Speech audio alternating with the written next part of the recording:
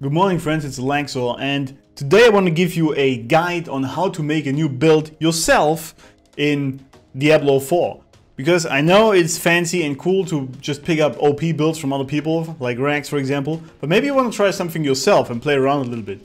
Now I did this video before in Last Epoch. In Last Epoch we do have way more possibilities to make builds, but it still applies mostly exactly the same in Diablo 4, I, I realized. So let's just go over the points we have and then um, I'll yeah, show you how to do it. One thing I have to mention though, I'm a sorcerer main, right? You guys know this. And you will notice with the sorcerer you pretty much have to play, uh, as it is right now anyway, every build the same. You always have to use all elemental damage types like fire, frost and lightning to get the buffs from the aspects, to get the bonus from the Tarashas, which is still the strongest, or from the glyph, the Elementalist glyph, which is still super powerful. So, for the Sorcerer, this is a little bit annoying right now. We pretty much play the same builds all the time, but um, there is still um, variability in it. And I mean, I make a bunch of builds, but you, you always have sort of the same skills on your on your body on there. But anyway. This also brings me to the first point you want to do. You want to focus on one damage type. Even though I just said you always have to use all of them, you still want to focus your items and your skills on that one damage type. Let's for example say this one. The build we're running right here is a Blizzard build. That's also why we're blue, right? So while the Sorcerer is a little bit different in this because you still have to go for all damage, you want to keep the main focus on that one damage type you're going for. Like if you're doing an Incinerate build, you obviously don't want to focus on frost damage on your items. I mean, I guess that makes sense, but it has to be said. That's uh, sort of the first step. You want to focus all the damage on that one thing. There are exceptions. Sometimes, for example, with the Hydra build I had, Hydra is fire damage, but I was using the Frozen Orb to conjure the Hydras. So I put a little bit of damage also into Frost, or even lightning because the lightning spear conjuration is still very strong. So you also, this is part of the first point, you have to look a little bit in the current meta, what is the strongest build, which right now is the lightning spear sorcerer. So you gotta realize, okay, I kinda have to play, this is a Diablo sin by the way, I kinda have to play the lightning spear anyway if I wanna go into higher pits or higher content because it's the strongest right now. Because Blizzard and Diablo, for that matter, have a habit of having one or maybe two to three builds for one character that are the strongest, that sort of revolve around the same, and everything else kind of sucks. So you, if you want to play different builds, you kind of have to use mechanics or techniques of the strongest build. This is why when I was playing the Hydra Sorcerer, uh, I was still using Lightning Spear, because it's just too strong. You want to focus on one damage type mostly, but understand where the meta is and what is currently the strongest in that season or in that patch or whatever. Because otherwise your build just won't do much. And the reason for this is very simple. It's this very item, Tarasha's Iridescent Loop. It's sometimes tough for me to say that. And it says down here, for each type of elemental damage you deal, gain up to 20% increased damage for 4 seconds.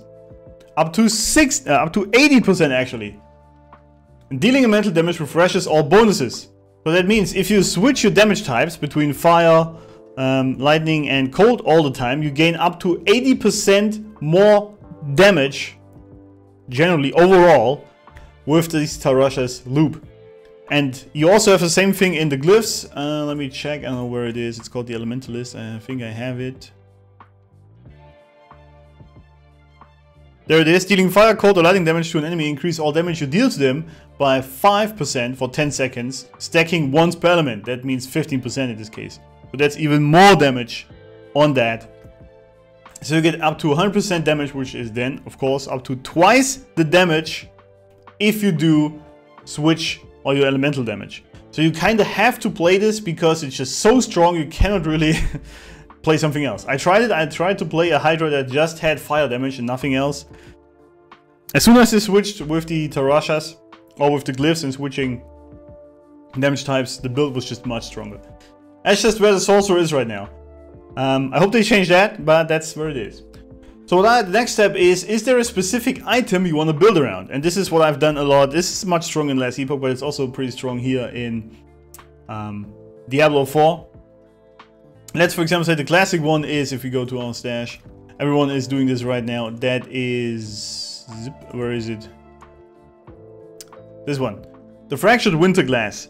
Because, very simple, casting a Frozen Orb has a 65% chance to spawn a random conjuration, and your conjurations have up to a 90% chance to launch a Frozen Orb at nearby enemies. So you have this loop where you cast your Frozen Orbs, they cast the conjuration, and the conjurations also can cast Frozen Orbs, etc, etc. And especially also with the Hydra, this was insane. So the Hydras were shooting Frozen Orbs at enemies, and these Frozen Orbs were conjuring Lightning Spears, or the Ice Blades. So I also had the automatically growing the switching damage types by itself. So if you have an item you see like this and like, okay, damn, this is so good, then you want to build your build around that. Or another one, for example, is obviously the Axial Conduit. Chain Lightning alternates between orbiting you and seeking up to three enemies. Now obviously you have this item, you want to build a Chain Lightning build. Staff of Endless Rage, you have that. Fireball projectile speed, Chance for Fireball to cast twice, and every third cast of Fireball launches two additional projectiles. So obviously you're gonna go with a Fireball build. You have the Staff of Lam Esen. Esen? Esen? I don't even know. Charged bolts have a chance to be attracted to enemies and last 300% longer. And they have a chance to be cast twice. So I also want to try a charged bolts build, which probably sucks, let's be honest, but we're gonna try that. So this is sort of how I approach this. I have an item, a unique in this case, usually because I have these fancy things.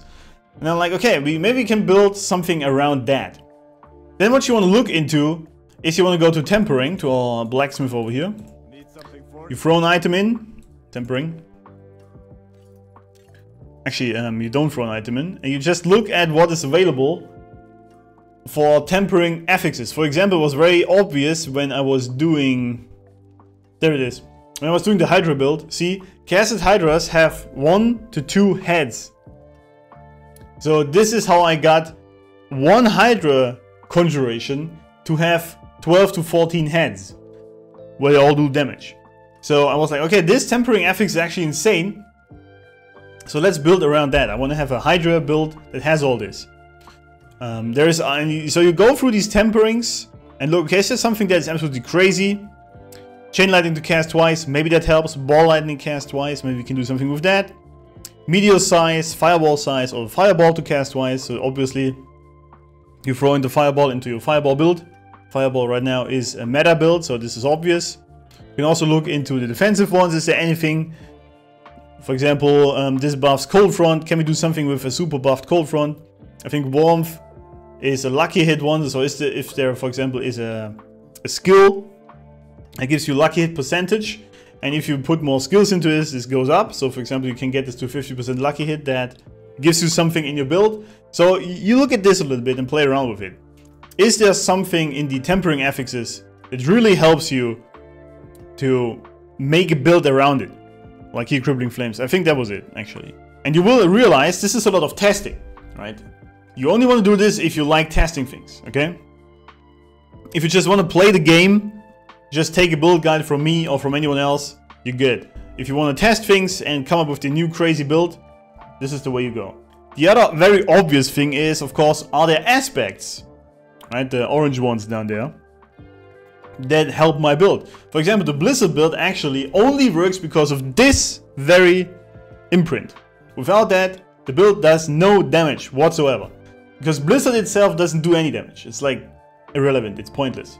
But there it says, when you cast Blizzard, it will periodically spawn exploding ice spikes that deal 2000 damage and your ice spikes chill enemies. There's also another one, I think it was this.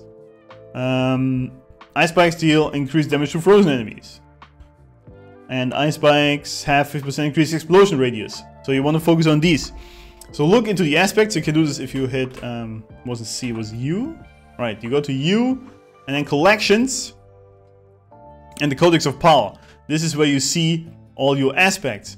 And I can also search by, I mean, it's already by the sorcerer or your class. I can search, for example, for Blizzard. Is there anything for that? Then we have the gl glacial aspect and the Snowguard's aspect. And now you already have three things. You have an item that buffs a specific or goes into a specific direction. Then you have tempering affixes and you have aspects. And this, uh, if you have these three, you're already on a good path to find the build. Next step, sort of coming from that, is obviously other aspects that support the build you have. For example, with this build, especially, I mean, this is pretty much, uh, this is a supporting aspect we always have, but we want to be, especially with the um, Incinerate build I played, you always need to have Barrier active because you're standing still and channeling, right? So people are gonna attack you all the time. So you need a lot of Barrier. And the Barrier in this case also increases your damage. So this is a great aspect, supporting your build. So you also want to look into supporting things. Like here, you take less damage from crowd controlled or vulnerable enemies. We do a lot of crowd control with this build because we freeze them a lot, we shield them a lot, and they get vulnerable as well. Or immobilizing, or even stunning is in the lucky in the tempering. So this helps us to survive longer. Because with the blizzard, it needs a lot of ramp to actually do damage. So we all stand around in damage a lot. So you want to look into aspects that also support your damage aspects or your existing build right now. And only then, this is how I do it, and only then do I actually look into the skill tree.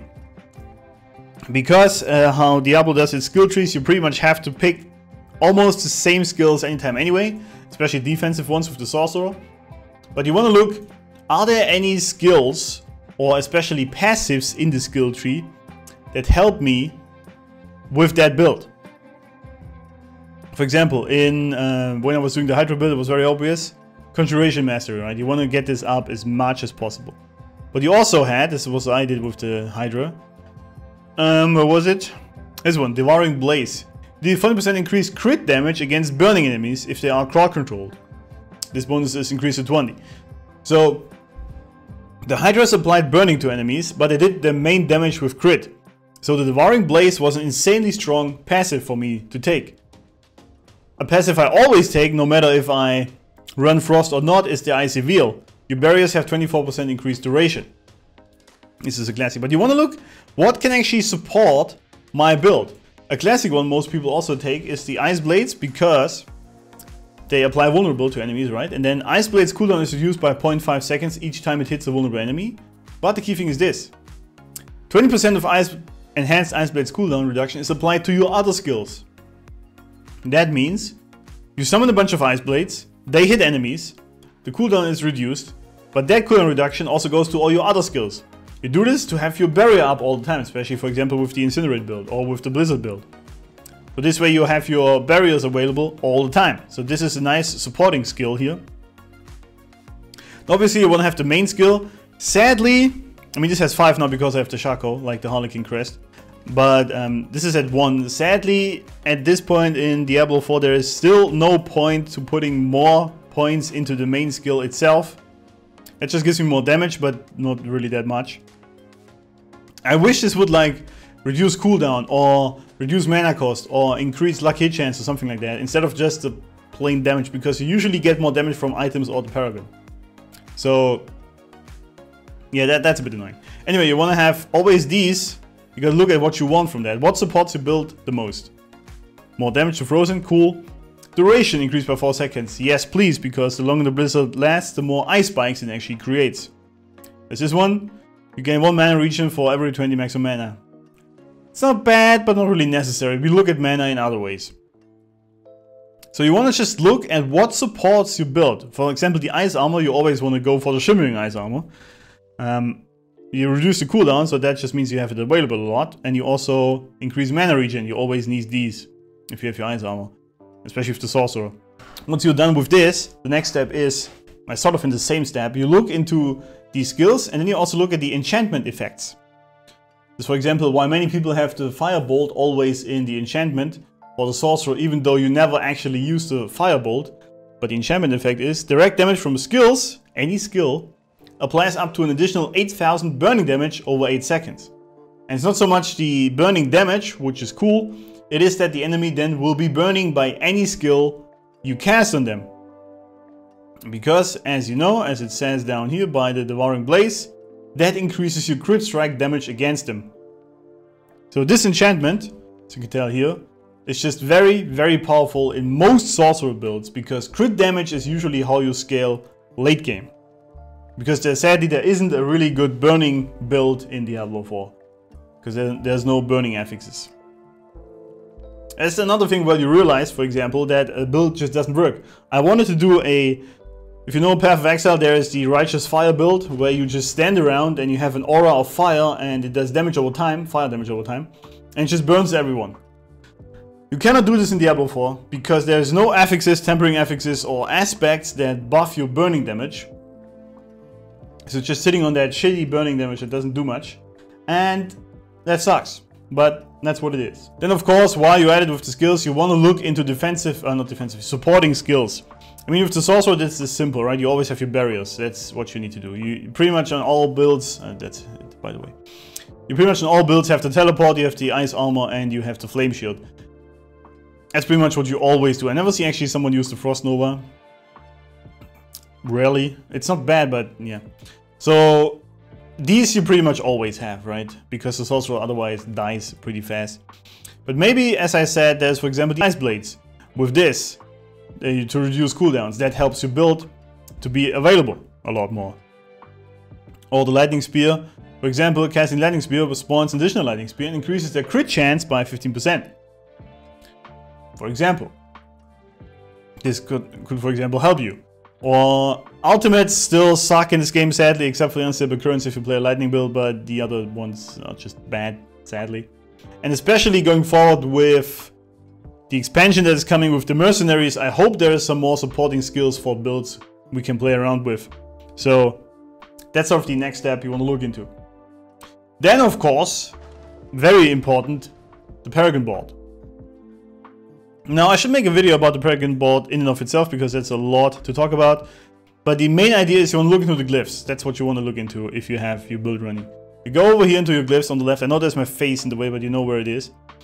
And then you just look at what, what is available. Ignore the blue ones, they suck anyway. Just go for the yellow ones, the rare ones. And you want to look, okay. You want to always look at the additional bonus. Crit strike increase all damage the enemy takes from you up to 12%. That's great because we scale our late game with crit damage. Nice, we want to have this. And we have Unleash. Spending 50 mana, you deal 8% increased damage and gain increased mana regen. Nice, that helps us a lot. So, this is gonna take a while to look through these and you might want to play around with it also in your play or in the gameplay to see what works. Because sometimes you have this in your mind but it just doesn't really pull so you have to play around with it. And sometimes there's also the irregular bonus, for example this one, right? For every 5 intelligence within range, conjuration skills gain 15% increased damage. So with this one, you actually want to throw it in and want to pick up as many int ones around it as possible to get this up to like 200%. Oh wait, uh, where is it? 200% more damage. I did this for the Hydras, for example. There was also... Or this one. Yeah, this was the insane one. Invocation. For each Dexterity purchased, within range, your conjuration skills gain 22% crit strike damage. I got this up to like 200% more crit damage. That was insane. So you want to look also into the regular bonus at the top, but the additional bonus at the bottom is usually the strong one, but you have to meet the requirements for that. So look into this when you build your Paragon board. You, but you want to look at the glyphs. A lot of them focus on specific build types or build styles. Like you have the Pyromaniac, you have Winter somewhere, um, you have defensive ones. And you don't want to miss out on defensive ones, especially with the uh, Sorcerer. 15% damage reduction while you have an active barrier. That's very useful for many Sorcerers. So you want to look into a balance. Still, Diablo 4 is focused mostly on damage. So offensive usually wins. Just kill the enemies faster than you get. That's usually how it works in D4. So usually you're good with that. But um, you, you might want to have at least like one glyph that does some defense stuff. When it comes to the boards, if you look at this Blizzard for example, I didn't care about most of these nodes, see? Most of the legendary nodes I did not give a damn about because the glyphs are, at this point, just better. So just pick any boards, I have like 8 boards, which doesn't actually work going forward anymore. In patch 2.0 this won't work, there's a maximum of 5, but for now it works. And you just get through it fast, to get to the glyphs and throw them in. Because that, in this case, helped more. Other builds, just go with four balls and actually pick up the legendary nodes. But these are okay-ish. but not crazy. Um, I think, uh, in my experience, the glyphs are usually stronger than the legendary nodes, except for some rare cases. Um, like this one, nobody ever uses that one.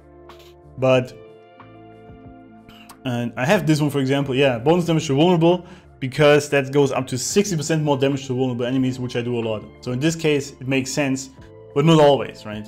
And, um, the other ones, it's better to just go for the glyphs. That depends a lot on the build. Play around with it. Some nodes are good, some are not so good. That is up to you. Then, once you have this, you, you have your first build. But this is uh, sort of the pre-alpha beta version, right? The, this is still a testing phase. Now what you do is you go into the pit, right? You go to Cerrigar. Cerrigar, I don't even know how it's pronounced. Up here, Cerrigar. Because there is the pit. And in the pit you test how the build actually does. This is now your testing ground.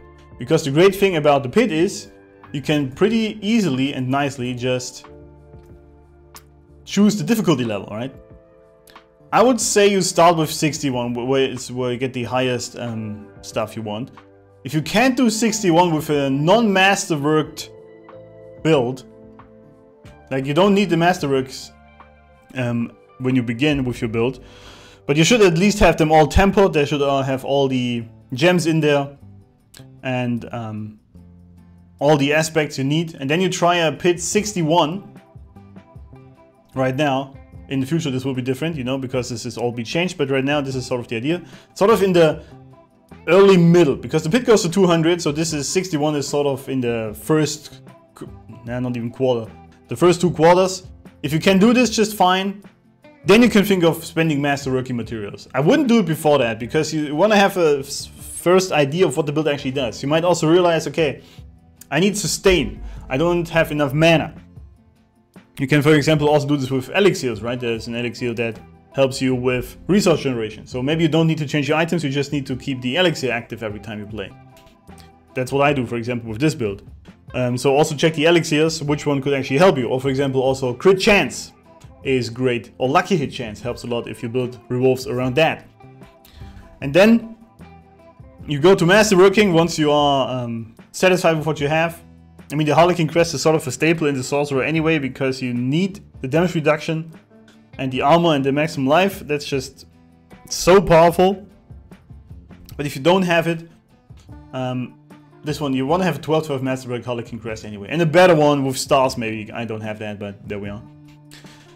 And then I think the key thing is once you notice, okay, I need more health, I need more sustain, this doesn't actually do the damage I want, maybe I need to focus more on cold damage with the Frozen Orb over the Hydra Fire damage or whatever. Maybe need more crit damage, you play around with this. And I personally, right now as it stands, think a build is really viable when you can do pit tier, pit tier 100 or at least like 90. If you can do 90 to 100, you can do most bosses just fine, right? Or you can do most most of the content just fine. Even the uber bosses, you can do them alone, right? No problem. So this is sort of your measurement. If you can't go to tier 100, I wouldn't say it's a good build. But again, you need you need you really need masterworking to even get there. So once you've once you've focused on the items you want to have, you want to use, and you say, okay, this is all fine now. You want to masterwork them to really fire up the damage. The masterworking actually does a lot of damage for the late game. gives the sort of extra boost. You might be unlucky like I was here in this case. I wanted chance for ice spikes to explode twice or the ice spike damage, and I got the crit chance twice. If you want Master Working to hit one affix twice, it never happens. If you don't want it, it happens. So there we are. So you might have to spend a lot of time actually, and this is something I actually don't like so much about Diablo 4. Finding a good build takes a lot of time. Last Epoch this is way faster. Like, it's like a fifth of the time in Last Epoch you need to find a good build than you do in Diablo. Because you have to master work to really know if it's gonna be a great build late game and you have to hit good rolls with masterworking as well, or tempering. Now this will become a little bit easier going forward, because the changes they introduce are nicer, or very nice, to make it easier, but as it stands right now, not a fan. It takes really very long to find good builds. You, you need to spend a lot of hours playing to, to get there. But if this is your kind of style, if you want to make your own builds, you want to find new fancy builds nobody has come up with yet, then that's how you do it. That's how I do it, and that's uh, how I would recommend you do it. Maybe you have a better idea. If you have an entirely different approach to builds and making builds in Diablo 4, let me know in the comments below. I'm very curious how you guys do it. Until then, I hope this helped you. If any more questions, post them below, and I will see you guys in the next video.